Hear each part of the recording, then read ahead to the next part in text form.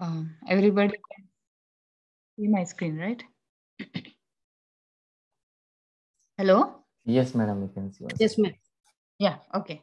So, yeah, hello everyone. Today's my topic is Salesforce Trigger Best Practices. So, uh, here we go. So, these are the best practices we need to follow. Uh, the first one is one trigger per object. Madam, one thing, Uh, madam, before that, just close this one, madam, left side one. So that your screen will be uh, below, below close options then. no? Oh, sorry. Correct. Yeah. Okay. Okay. Thank you. Okay. So, yeah. So the first one is uh, one trigger per object.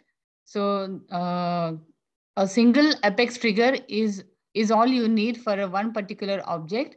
If you develop multiple triggers for a single object, you have no way of controlling the order of execution. Uh, if those triggers can run in a same context. So if we have more than one uh, uh, more than one trigger for object, there will be like which trigger should go first and which trigger should should go next. So there will not be any control on the order of execution. So it will lead to problems. So that's why only one trigger per object is the uh, best practice. The next one is the logicless trigger. So uh, if you write the method in your trigger, those cannot be exposed for the test purpose. Uh, so you also cannot expose the logic to be reused anywhere else in your org. So we need to write the logic in the uh, helper class or trigger handler uh, so that um, the uh, lo- logic we can reuse it uh, in any other um, coding in our organization and uh, we can uh, also expose it for the test purposes. So uh, writing logic in the uh, handler class is the best practices and not uh, in the trigger class. Then a second one is context specific handler method. So create a context specific handler method uh, in trigger handlers. Then bulkification of code. Bulkifying Apex code refers to the concept of making sure the code properly handles more than one record at a time. So uh, for this, we should uh, always use the uh, collections, either list, set, and map. So uh, when we are writing the trigger, it's very good practice. And um, uh, we should always try to handle more than one record at a time, uh, unless if we come across some errors. But uh, mostly we should follow this bulkification. By default, uh, it will be like 200 records per batch. Uh, we can uh, mm, process in this method. So we should try to use the bulkification code by using collections, list, map, and set. Okay. Then the fifth one is avoid SQL queries or DML statement inside the for loop. So we should never write the SQL queries or the uh, DML uh, statement inside the for, for loop. Otherwise, the um, record or the loop will uh, run those many times inside the for loop. And we have a governor limit of 150 uh, records per tran- transaction. So uh, it might exceed the governor, uh, it will hit the governor limit and the whole of the transaction will fail and roll back. So to avoid this, we have to write the um, uh, queries or the DML statement outside the for loop. I'll be showing all this in a, a simple example in the end. Now, uh, the sixth one is using collection, streamlining queries, and efficient for loops. It is important to use the Apex collections to effectively query data and store the data in memory. A combination of using collections and streamlining uh, SOQL queries can subsequently help writing efficient Apex code and avoid governor limits. Okay, the same thing, uh, we have to use uh, the collection list, a list for uh, to store the query result and then set and map uh, to store the uh, IDs and all uh, for unique IDs. So we should always uh, use the uh, collections where to streamline the queries and uh, effective use of the loops. Then seventh one is querying large data set. The total number of records that can be written by the SOQL queries in a request is 50,000. if returning a large set of queries causes you to exceed the heap limit, then the SOQL query for the loop must be used instead. So it can process multiple batches of records through the use of in, internal calls to query and query more. Okay, so then we can use the SQL query for the loop and uh, sir, what is the explanation for this? I did not get. Yes, madam. Generally, what we can do, we can write SQL query first, get all the records, then we can use that list name in the for loop, right, madam? For loop. Ah, right? okay, that one. But okay. instead of that, writing SQL query outside the for loop, in the direct for loop itself, you can write a SOQL query, like for loop account ACC colon query, you can write to write there itself. That is called uh, for loop uh, query. So if you use like this, it will be a performance, uh, like it will be good for performance also. You can Oh, have it. so writing the for loop in the query itself. Correct, madam. In the for loop itself, you can write a SOQL query. Oh yeah, that's what we are doing, right? For and we are iterating and then bracket and select query and the loop. Yeah, okay. That select So- query, we can we have to write in the for loop itself. Oh, okay, okay. Hmm. So uh, the next point is the um, use of at future appropriately. So uh, this is the at future not, notation we have learned in last two classes. So it is critical to write your Apex code to uh, efficiently handle the bulk or many records at a time. Uh, so this is also true for uh, asynchronous Apex method. So those annotated uh, with the at future keyword, the difference between synchronous and uh, asynchronous Apex can be found. So the, this is a good practice of using at future method when we handle the records in bulk.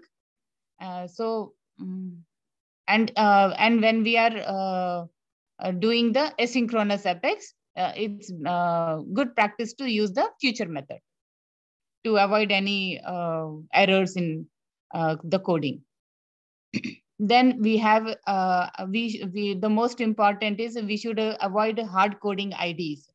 So when deploying Apex code between the sandbox and the production environment uh, environment uh, or installing force.com uh, app exchange packages, it is essential to avoid the hard, co- hard coding IDs in the Apex code.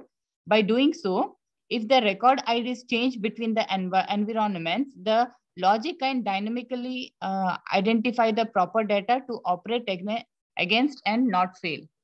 So we should always avoid hard coding the IDs and we should always use the uh, variable instead.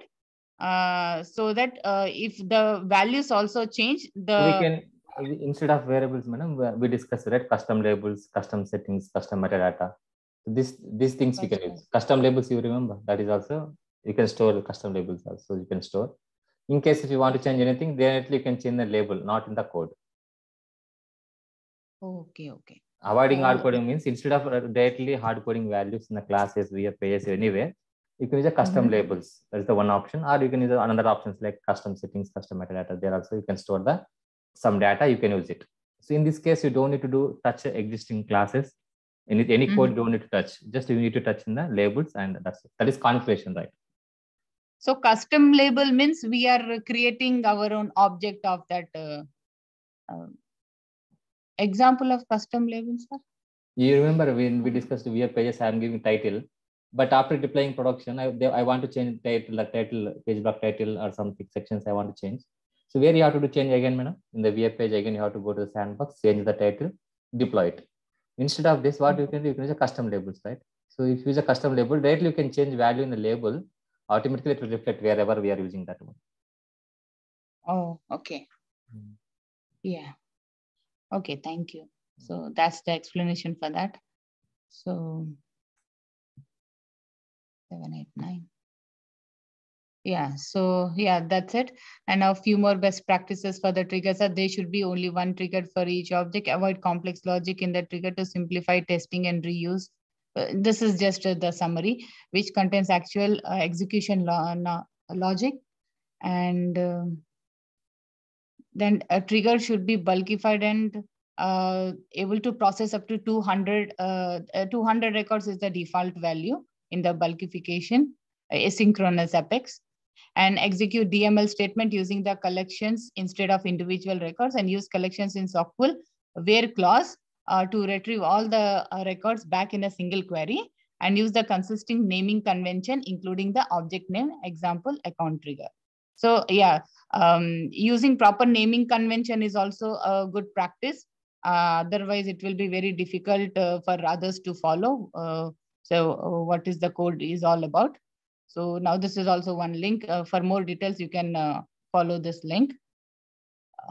yeah, that's it about the best practices.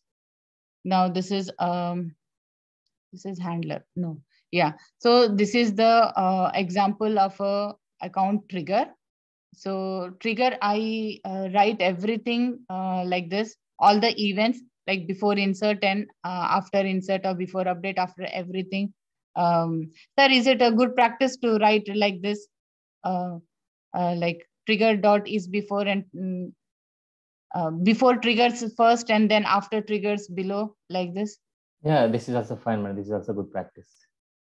Yeah, like I, I found it very easy when writing uh, we, we write so many triggers per, in one object right so whenever it is uh, before triggered or after triggered it will automatically take it we will not miss anything if we already we beforehand only we mention this before triggers and after triggers so this is a simple account uh, trigger and i have given the uh, handler and uh, method over here so this is the account trigger handler This is public static void. This is the method used. So here list and uh, uh, map uh, collections have I have used here. Now it, the what we are updating the field on the contact the child records here. So uh, see here the for loop and uh, the list and map are outside the for loop. This is i'm following all the best best practices in this. The see update list is outside the for loop. And i have also bulkified the uh, trigger with uh, collections using list and map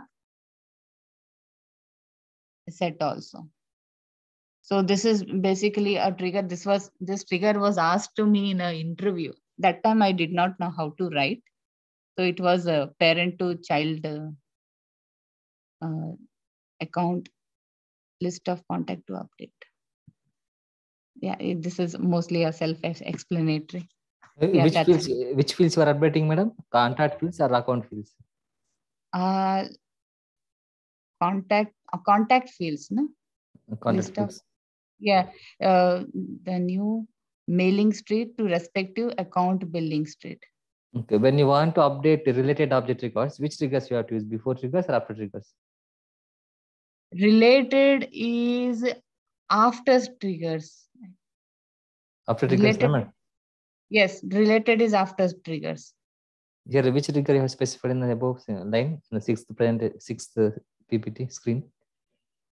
Before or after that is before you are writing so whenever you want to do dmls on its related objects where we have to do madam all the dmls in the after only after if you want to update same record, which triggers we have to use? Which triggers?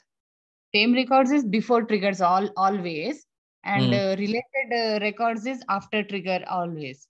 Mm. Why you have written before update, madam? Then? Maybe they got deleted. I wrote all in a line before insert, before update, after. Ah, we have written everything correct, but yeah. if, if you see line number, right, account trigger handler, that you have we are putting in a before before context so that is oh. not a good oh. practice okay just check once madam all these things but this presentation is good madam okay, okay. but uh, when, whenever we have to write code we have to think simple madam when we have to use before when we have to use after when we have to use before madam before triggers um, before saving the records into the database and uh, uh, when we are not using the when we are not uh, uh, using the related records, like only the object itself. I am not expecting this answer, madam. Validation and updating same record. Correct. Uh, yeah. Yeah, yeah, yeah. Sorry. Sorry. Hmm, no need to sorry, madam. You have to give answer. Okay, when we'll go for after triggers, madam? Workflow, flows, process builder, and updating the related records. like extension of uh, all these automation tools are nothing but a after request. So generally, if you want to update related objects records, anything you want to do on the related objects records, you will use the after request. Or you want to send notifications, you will use the after. Simple, madam. Four points only. Two for Mhm. before request, two for after request. Okay, Okay. validation and the record itself and uh, workflow extension, uh, process builder extension Flows extension is nothing but a trigger. and related records. Related. Generally, we can use all, all this once the record is saved, right? Okay, okay. So after request also nothing but after record is saved. You want to perform anything on the related object records. you. Okay, now I'll remember, never forget it. No problem. Good, madam. Your presentation is very good, madam. Yeah. Thank you, madam. Thank you.